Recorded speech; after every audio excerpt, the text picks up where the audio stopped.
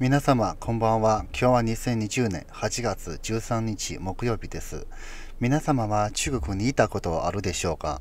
料理屋さんで注文して中国では結構な量を注文します。料理が残るようにたくさん注文します。昨日国家主席習肉まんが出てきました。指示を出しました。料理食料を大事にするということを言いました。N-1 だと言います。N っていうのは人数です。人数分マイナス1というふうに注文します。例えば4人で食べると3人分だけの注文をすることです。足りなかったらまだ注文すればいいですね。国家のトップがここまで言うというのは初めてです。いつも大国だと言いますが、シルクロードで世界をリードしていく、人類を解放する、国内は豊かだと言いますが、おかしいですね。このような発言はせこいです。今の景気は悪いです。北京では半分くらいの料理屋は倒産となりました。本来なら外食を制限するところが開放にしないと料理屋は潰れます。でも今回は料理を節約、倹約だと言います。今までとは違います。それとみんな自分で稼いだお金を使いますので無駄遣いっていうのは実にしないんです。中共は一番無駄遣いしています。第三世界の国に支援をしています。外国へお金を隠したり、広州に G20 がありましたが、世界一の贅沢な規模でした。要するに、外国には気前よくお金があるように見せます。国内では倹約、節約を推進します。北朝鮮への食料の支援はかっこよくもやっていますね。以前の動画では食料のことを2、3回言いましたが、国の食料を保管する倉庫も実は空っぽです。今回は週肉まんが出てきて発言しました。呼びかけではなく法律を作ると言いました。国民の食事まで管理されるようになります。昔は計画経済でしたがありました。食料のチケットを配られていました。えー、世帯の人数によってチケットをもらいました。チケットがあってお金を持って物を買っていました。今回は週肉まんは国営テレビで食料を大切に無駄のない食料を食事をすると言いましたが、以前の動画で言いましたが、食料の問題は現実になってきたと思います。倹約だと言いますが、中共にとっては倹約っていうのは初めてです。現在、武漢の政府は積極的に動いています。今年の夏の収穫はとてもいいと放送されていますが、これはおかしいです。病気の後に大雨、それから洪水です。収穫の量は減るより絶滅です。たくさんの農業地は崩壊です。収穫という前に崩壊です。政府はいつも嘘を言いますが、基本ですが、中共は大丈夫だと言えば、絶対に問題あると思った方が正しいです。収穫が豊か、とてもいいと言いますが、絶対に問題起きていると思っています。武漢では正式に実行しています。人数分マイナスの1で注文をすることです。料理屋にとっては大変ですね。もともとやっていけるかいけないかですね。料理の注文の量まで管理されるとかわいそうです。そしてお皿はですね、空にするよっていう運動をやっています。えー、2日後に全国今日ですね、あの5箇所の賞が実施となりました。もし1人、2人での注文するなら、マイナス1ではなく、少量な料理の量を設置しないといけないんですね。そうなると、お皿は空っぽになるよという話ですね。お店は、えー、ダメだと言いながら、実はですね、お店のためだと言いながら、実は国の食料に問題が起きていると思います。中国は広いですが、でもみんなと違います。インド、アメリカ、オーストラリア、ブラジルなどの国は食料を輸出の大国です。中国は960万平方キロですが、でも農業用の土地は100万キロ平方キロです。中国の農業はダメの原因は農業機械はダメです。それと農業に使える土地は実に少ないです。160万平方キロのウィーグルは70%以上が砂漠です。チベットも同じですが、農業に使える土地というのはないと言えます。インドは農業に使う土地は中国よりも多いです。気候的にもいいです。世界的に食料は問題なさそうですが、中国は自給自足はできないんです。外貨で外国から買うしかできないんですね。しかし、中共の外貨については、以前の動画で言いましたが、外貨の貯蓄は豊かそうですが、実に余裕ではないんです。先月、アジア投資銀行の発言で週に9万はシルクロードのことを触れもなかったんですね。アジア投資銀行はシルクロードのためにある銀行です。でもシルクロードの話はしていなかったんですね。食料の問題は中国に発生すると思います。これからです。次は自動車の話です。これもまた大事なんですね。中国の発展委員会が発表しました。中古の車の部品を再利用するようにと発言しました。中国は外国と違って政治が何でも、え、決めます。政府が決めて国営企業は100%実行します。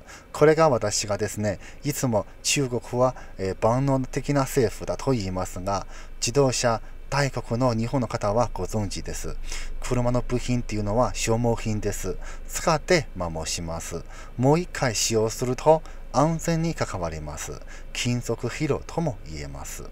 この政策を作って一部の自動車整備工場は古いブルー車の部品を再利用することになります。新車として売られる可能性は高いです。これは原因があります。自動車の大事な部品は輸入しないといけないんです。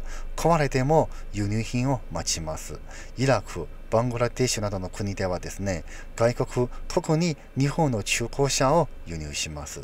部品が故障すると、外国から輸入する余裕がないんですね。同じ種類の車が他の原因で壊れるのを待ちます。その車の部品を待ちますという意味です。故障した車の2台3するという意味です。この話をする、えー、国、政府が発言っていうのは自動車の部品の輸入に問題が起きると思います。以前が言いましたが、あの中国の政府は経済を国内だけの循環にすると、この話を聞いてここまでになるっていうのは想像できませんでした。実は国内だけの経済循環っていうのは影響が想像を超えています。以前の動画で就職率、失業者の話をしましたが、労働者4.4億人は中国にいます。そのうち2億人くらいは輸出、輸入の関連企業に勤めています。例えば、中国の外資系にある工場ですね。自動車工場、医療関係、自動車の部品工場、スマホの部品を製造工場、アップル製品の組み立て生産ラインなどですが、もし国内だけの発展経済の循環にすると、まずは失業者はもっと増えます。少なくとも外資系の企業にいる従業員は失業するでしょう。しかし、これはまだ甘いです。私の考えは甘かったです。もっとひどいはずなんですね。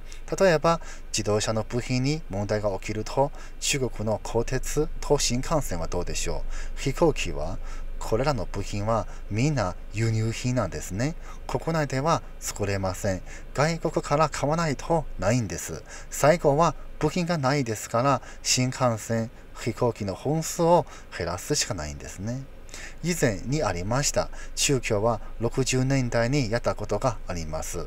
外国への支援ですね。タンザニア、トザンビアですね。中国はダンザニア、トザンビアをつなぐ鉄道を援助で作ってあげました。アフリカを横断しました。1860キロの距離ですが、砂漠、川を横断しました。最後はインド洋まで行きました。10年間かかりました。中国からたくさんの農民工が行きました。最高で1年間5万人の農民工は行きました。当時は10億ドルをかかりましたと。でも、これは1960年代の時でした。当時の10億ドルの価値が今と違いますね。このお金でたくさんの製造業を作れたのに、でも援助しました。鉄道を建設しました。完成しました。30年、40年経ちましたが、今はどうでしょうか？あのまずはですね、運行する時間はどうでもいいです。いつも遅れています。そして遅れる単位っていうのは分、時間でもなく日です。1日2日3日単位での遅れます。どうしてこのようなことになったでしょうか？メンテナンスしないからです。お金がないんです。メンテナンスができません。鉄道が変形しました。列車が故障しました。修理ができません。この鉄道の調子が悪いということで、スピードが出せないんですね。スピードを遅くしてゆっくり通過します。中国のニュースでは最低速度っていうのは10キロです。自転車よりも遅いんですね。10億で鉄道を作っていますが、部品とメンテナンスが重要です。これがないと運営は実にできません。今までの投資が無駄になります。この鉄道は実は運営されていると言えないんです。当時1万、1年間2万トンの運送できるという計画でしたが、今は50万トンです。鉄道の問題で運送する力が発揮できないんですね。つまり国内だけの経済循環だと言いますが、輸出、輸入企業、外資系の企業に関係すると思うでしょうが、実は中国のインフラ設備にも影響が出ます。中国は今の鉄道は世界一長い、総距離が長いと言いますが、しかしタンザニアとザンビアのようなことになると思います。中国の専門家、学者、シンクタンクは言います。大丈夫ですよと、輸出輸入がなくても十分にやっていけると言います。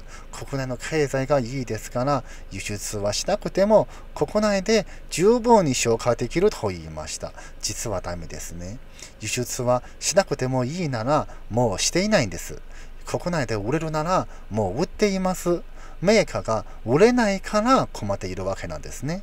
輸出が少ないと言いながら、たくさんの重要なものは輸出にしないとないんです。一つの部品で一つの業界が潰れます。今年ですが、中共は人工衛星をロケットで発射しました。連続3回失敗しました。どうしてでしょうか？一部はアメリカのチップが原因だと言います。このチップの金額はロケットと人工衛星の1000分の1もないんです。でもこのチップがないとたくさんのお金を作ってたそのロケットが失敗です。みんなに縁を切られると高度な技術、企業はなくなるだけなんですね。いつも自慢していますが、中国の鋼鉄は世界一ですと、実は大事な部品は作れません。ファーウェイはアメリカに57社の、えー、子会社を閉鎖としました。すべての子会社を閉鎖とし、従業員を解散としました。ファーウェイは先に内部の循環となりました。前回の動画で言いましたが、ポンペオはクリーンなネット環境を作りたいですと。インターネットを掃除してクリーンな状態にしたいと言いました。このような動きは宗教と IT、インターネット、デジタル関係での縁を切るっていう意味ですね。今の状態から見てこれだけではないんです。宗教との縁を切るっていうより宗教を世界から孤立させることです。自分が宗教との距離を離れるだけではないんです。宗教を世界から離れるようにすることです。昨日文章がありました。ホワイトハウスの文章です。まずトランプは地理的な線国境を守りますと、同時にアメリカのインターネットの線、国境線を守りますと、4月29日でしたが、ポンペオは言いました。国家の権利の一部として、アメリカの国会はアメリカで使う 5G の環境をクリーンなルートをルートで作ると言いました。つまり、この話っていうのは 5G のネットからでした。クリーンなルートだと言いますと、クルートというのは通信会社の意味をしています。つまり、信用できる通信会社にするということですね。つまり中共以外の会社にすることです。2020年8月5日、先週ですが、ポンペオは言いました。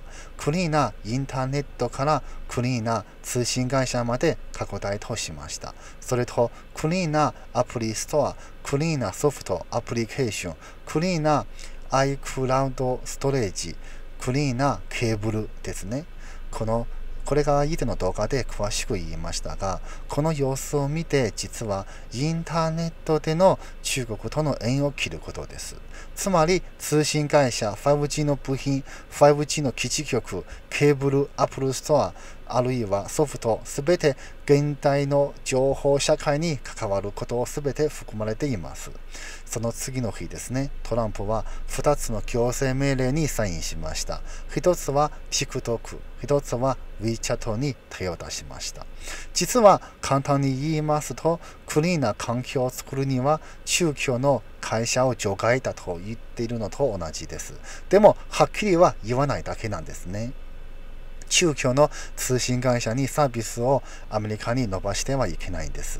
アメリカのアップルストアには中華系のアプリはですね、すべて禁止となります。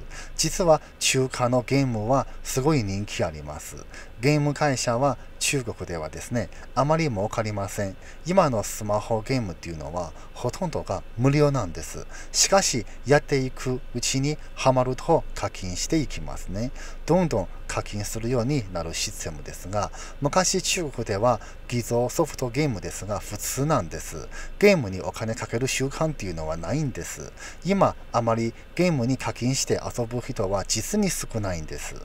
考え方としてはゲームは安い値段で遊べるっていう認識です。昔は偽造のソフトでしたし。でも外国ではあのゲームを、えー、ソフトを購入っていうのは当たり前ですね。スマホでやっていても課金しても理解はできるとみんな課金して遊びます。今のゲームソフト、今のケーブルですね、香港を避けて作っています。現在は30カ国以上ですが、アメリカのこのクリーンなネットに参加したと言います。みんなの考えは一致しています。自分のインターネットが信用できない会社の運営に温泉されないように言います。国は、国と言いますが、結構面白いです。5 eyes の中にアメリカ、イギリス、カナダ、オーストラリア、でもニュージーランドは入っていません。ニュージーランドはないんですが、日本が入っています。それと台湾ですが、でも韓国は入っていないんです。これを見て世界の政治の状態がわかります。中東においてはイスラエルです。アメリカの友達ですね。北ヨーロッパはスウィーデン、デンマーク、でもフィンランドは入っていないんです。西ヨーロッパではフランスとギリシャですね。東ヨーロッパは多いです。アルバニア、チョコ、エストニア、ラトビア、オランダ、スロベニア、ルーマニアですね。つまり今回ポンペオはヨーロッパへの訪問という経過、成果成果はいいですね。これは新しい失礼しました。これは新しい戦場とも言えます。つまり IT、デジタル、ネットでの包囲戦略です。宗教をインターネットで包囲しますと言います。流れには実に見えています。最初はファーウェイを見ています。ファーウェイは中共の拡大していく戦闘部隊です。一番目立ちます。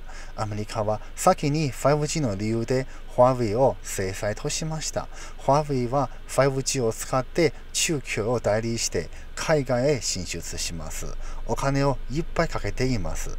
アメリカは全ての力を出してファーウェイを制裁としました。同盟国にも協力してもらいました。今年3月からファーウェイの 5G の契約はゼロです。つまり、ファーウェイのこの拡大していくのを阻止とされています。ファーウェイを阻止していくうちに、クリーンなネットに、あの、環境にするとなってきました。ファーウェイへの制裁の延長とも言えます。クリーンな 5G のネッ等環境と言いますが、つまりこのことでアメリカだけではなく、イギリス、ヨーロッパ、日本にも関係します。クリーンな 5G 環境とは中華系の企業を排除するっていう意味です。これが戦略です。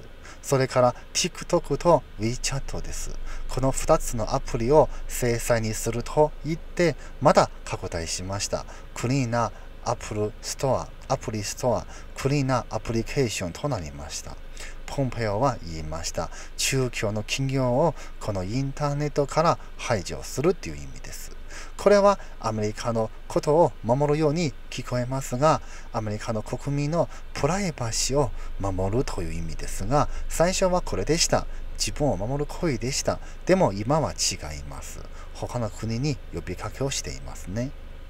自分と自分の同盟国、友達だけのクリーンなインターネット環境を作ると言います。今は30カ国ですが、これからも増えます。シンガポール、タイ、ベトナムも入ると思います。これからです。みんながこのネットワークに入ると、みんな3つのことをやります。1つ、中共の通信会社を排除する。2、中国とのインターネットを切ることです。3、デジタル製品っていうのは中国で製造しない、できないんですね。アップルの製品は今月からインドで、えー、全て中国での製造は中止となります。このような話をすると、中共はみんなに包囲される状態になります。インターネットでの包囲になると言います。目的は中国と孤立させることですね。これはすごい戦略です。1、アメリカの優勢を作りました。利用しました。コストが安いです。同盟国が多いです。ポンペオはヨーロッパへ訪問して、このような成果となりました。これからも増えると言います。中共はネットの万里の長城を作りました。国民は海外のネットを見えないようにしていますね。万里の長城の外は自由な世界です。情報がいっぱいです。中共は自分で自分の国民を国内に閉じました。もし今の状態が進むと面白くなります。中共は自分の万里の長城を作っています。他の国も中共を万里の長城に閉じるようにしています。そうなると万里の長城の壁がもっと厚くなります。もっと硬くなります。つまり将来中国のインターネットと世界の皆様のインターネットと分かれると思います。2、このようなことをやって宗教は自分が好きなことはもうできないんです。宗教はですね、今はとても気持ちいいです。勝手です。宗教は外国のものを見放題です。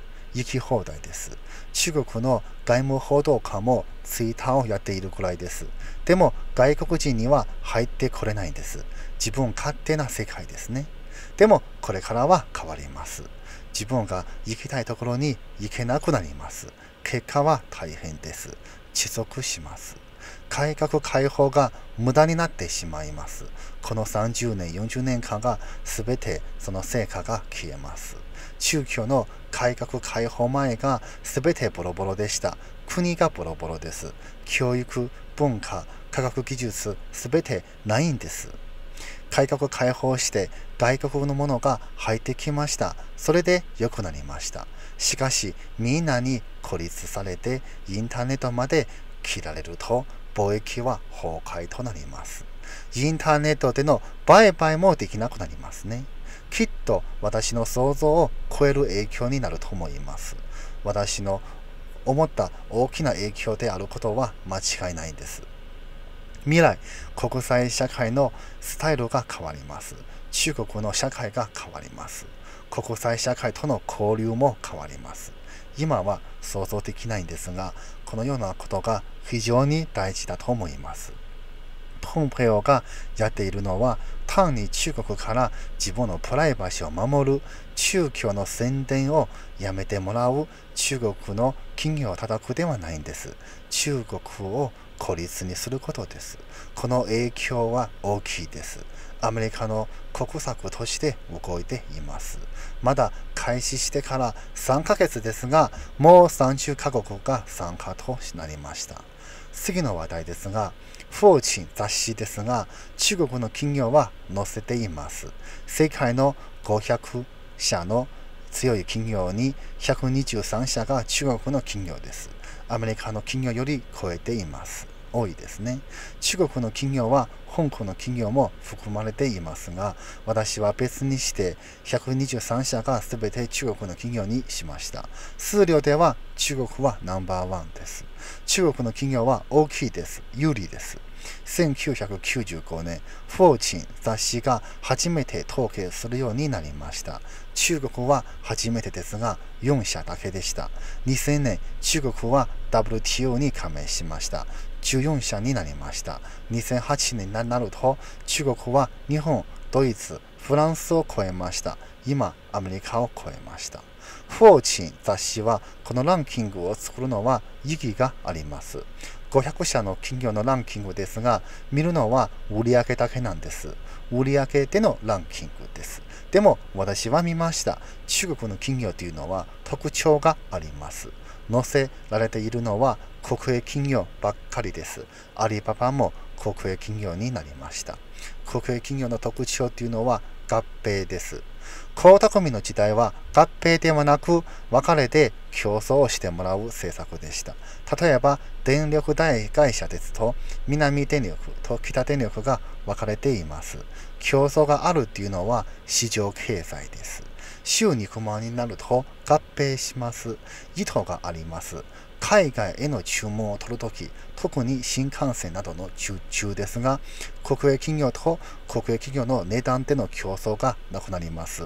合併すると競争はしないんです。つまり、外国への戦略です。合併する目的は外海外での注文です。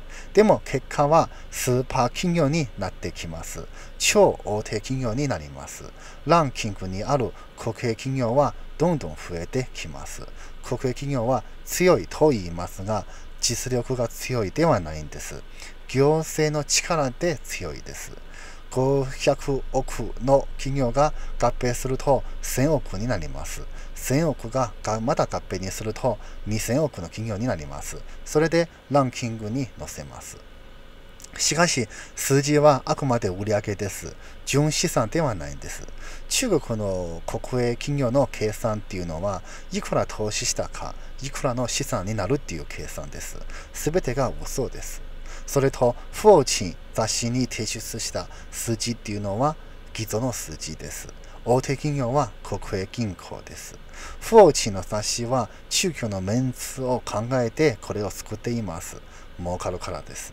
でも、このランキングっていうのは中国の経済とは関係ありません。自分の力での経営ではないんです。独占的な企業ですし、合併で大きくなってきました。例えば、中国のタバコ集団ですが、中国のすべてのタバコの会社はこの会社になります。宇宙で最も最大な企業です。なぜなら中国で宇宙ですね、あの、タバコを吸う人口を所有しているわけですから、タバコを吸う人が多いですから、この企業は最大になりました。最後になりますが、最近ニュースが多いですが、見方、考え方によって違います。論理が大事です。論理は規則とも言います。物事を考える、判断する方法です。論理を使って分析します。推測します。直感での分析、推測も方法の一つですが、世界への価値観を認識するにはいろんな方法があります。論理はその中の一つです。論理があって次は考え方です。考え方とは思考です。認識とも言えます。物事に対しての認識です。でも思考に単純に思うだけではいけません。情報と材料を収集する必要があります。このチャンネルの存在の意義というのはみんなで今の状況を把握することです。そして真実な中国の現実を皆様に伝えることです。たくさんの材料、情報が必要ですが、私が探して収集します。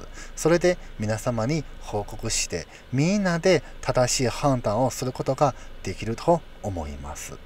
暑い日々が続いています。水分の補給を忘れずにお願いいたします。ありがとうございました。